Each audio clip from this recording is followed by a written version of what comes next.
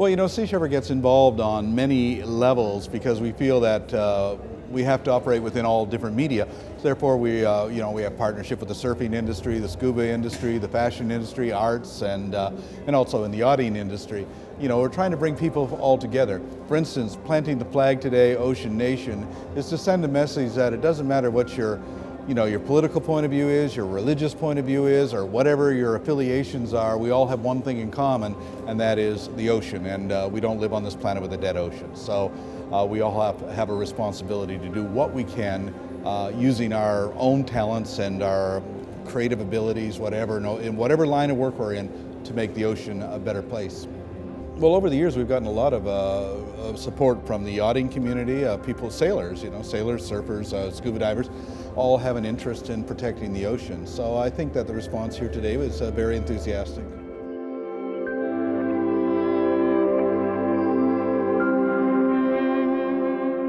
I started out as a, one of the co-founders. I was the youngest co-founder of Greenpeace. And uh, in 1975, we set out to protect whales. And uh, we went out there with this idea of, uh, with Greenpeace, of protesting, of putting our bodies between the whales and uh, the whaling ships, in this case the Soviet whaling fleet off the coast of California.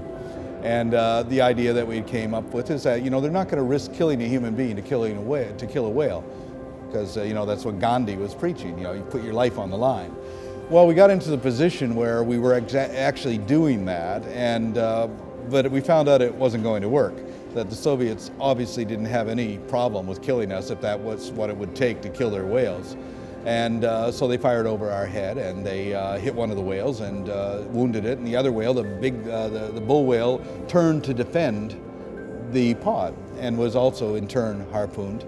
And as it was dying, I caught its eye and he came straight towards us out of the water and at the next move would come on top of us to, to actually crush us. And that was a turning point in my life because when I looked up into the eye of this whale, I saw that the whale understood what we were trying to do.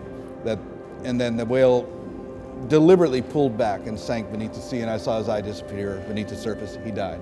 He could have killed us, and he chose not to do so. So that, to me, changed my life and my priorities. I was no longer out on the sea uh, protecting uh, the oceans for people. I was out there protecting the oceans for whales.